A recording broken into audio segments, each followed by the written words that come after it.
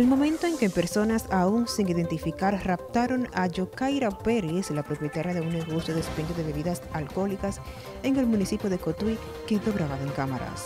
Se observa cómo desaprensivos la obligan a entrar a un automóvil.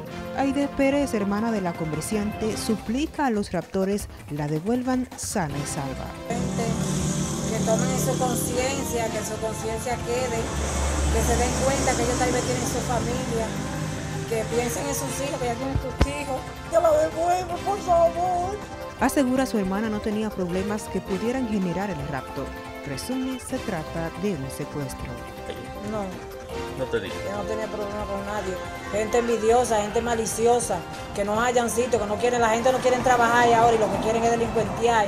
En cámaras, Dionisio Severino para NTN, Joanny Cordero.